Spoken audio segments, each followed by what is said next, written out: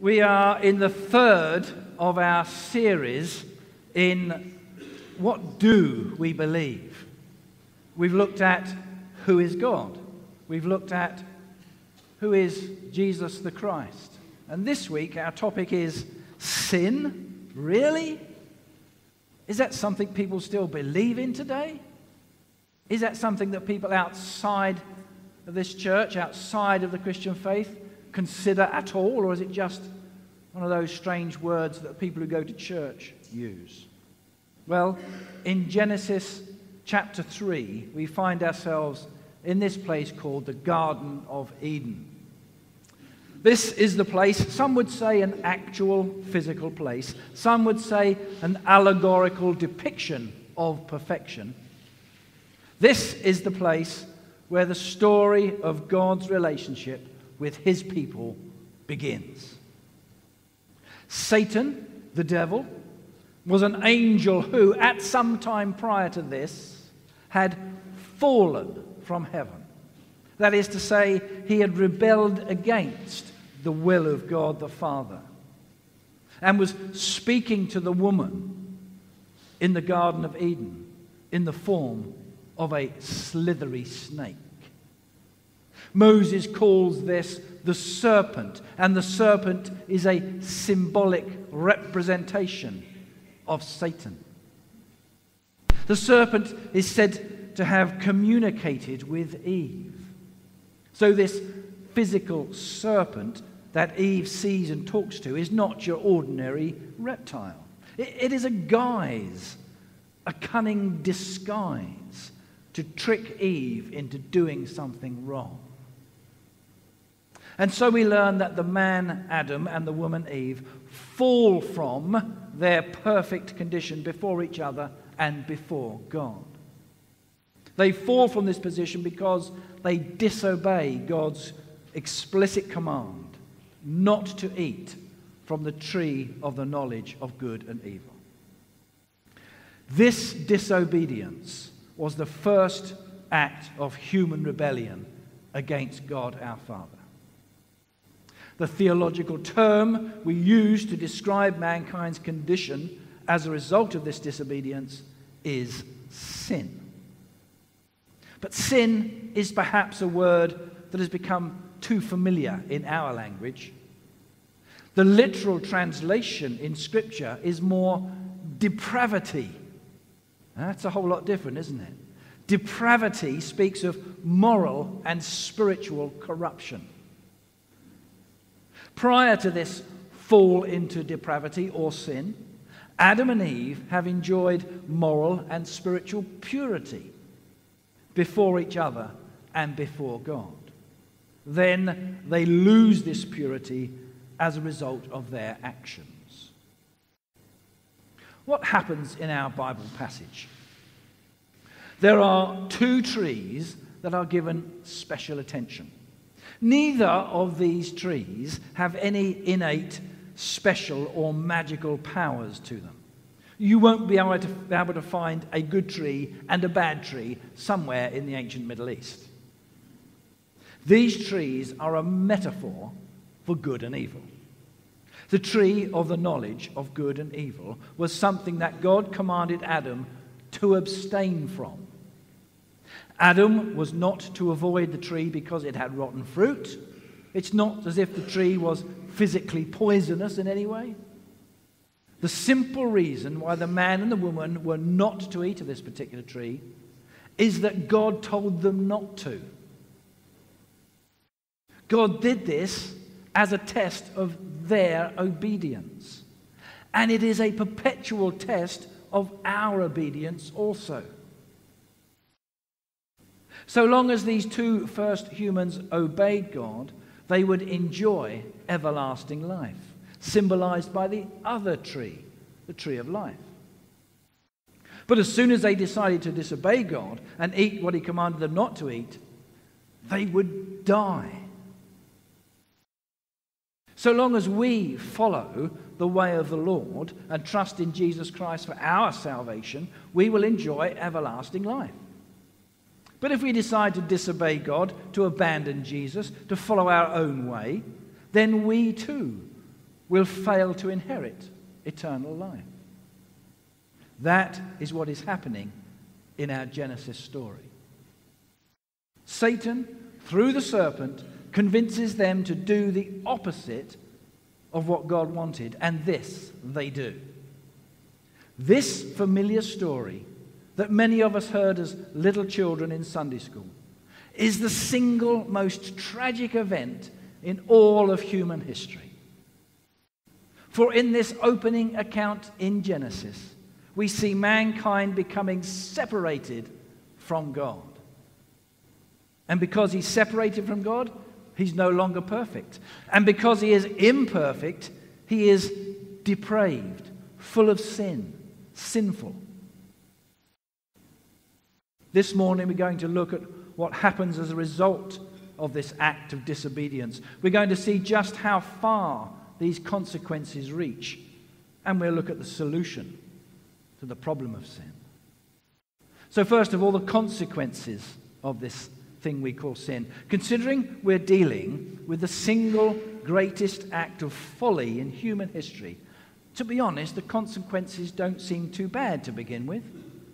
Well, think about it. The serpent is told that he will crawl on his belly and eat dust. Okay, not very nice.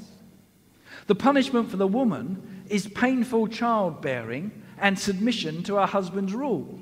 I'll let you decide which of the worst of those two. Um, the punishment for Adam is that he has to work the ground filled with thorns and thistles in order to make a living. Surely there has to be more of a punishment than that. And of course, there is. God says to Adam, Of the tree of the knowledge of good and evil you shall not eat, for in the day that you eat of it, you shall surely die. And Eve says to the serpent, But God said, You should not eat of the fruit of the tree that is in the midst of the garden. Either, neither shall you touch it, lest you die. And after the fall into disobedience and sin, God says this to Adam You will return to the ground, for out of it you were taken. For you are dust, and to dust you shall return.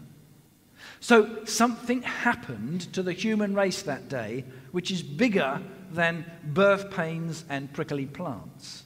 On that day, when they disobeyed, God, Adam and Eve died. Not a physical death, but a spiritual death. So the punishment for the fall into sin is not primarily physical in nature, it's spiritual. Spiritual death. By banishing Adam and Eve from the Garden of Eden, God is banishing them from his perfect presence with them and showing them that the life they had while they were there is now gone and that there is no way that they can get it back in their own power.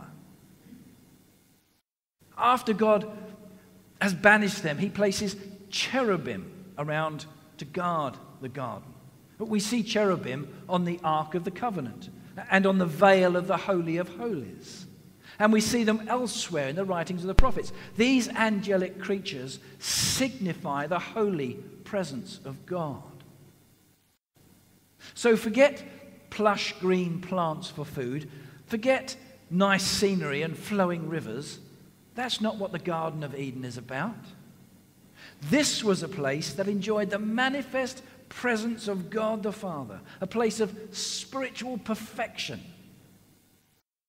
and now that Adam and Eve, because of what they've done, they're driven out of it.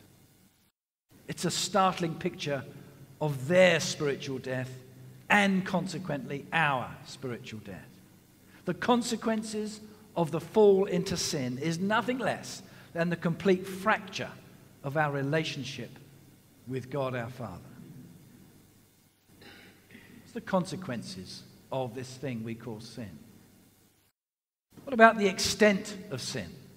How does this fall from the presence of the grace of God affect us, if at all? Well, Word of God tells us. Romans chapter 5 is a passage of Scripture all about the problem and extent of sin. It says, Therefore, just as sin entered the world through one man, and death through sin, and in this way death came to all people because all sinned. Sin came into the world through one man, Adam. Sin results in death, so death is spread to all men.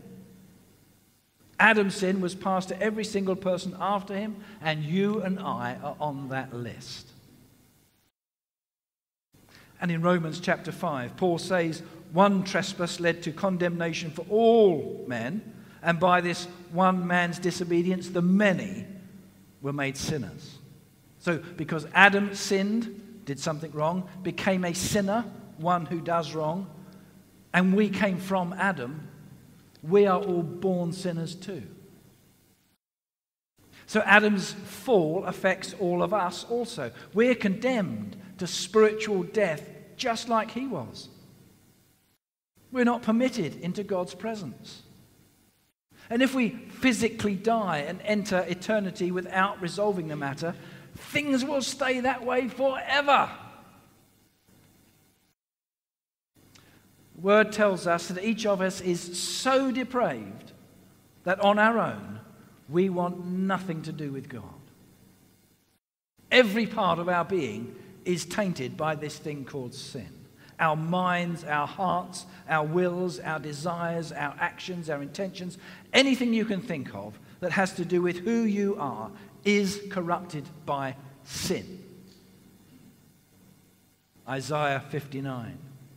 But your iniquities have separated you from God. Your sins have hidden his face from you, so that he will not hear. For your hands are stained with blood, your fingers with guilt. Your lips have spoken falsely, and your tongue mutters wicked things. St. Paul writes, None is righteous, no, not one. That's our behavior. No one understands. That's our minds.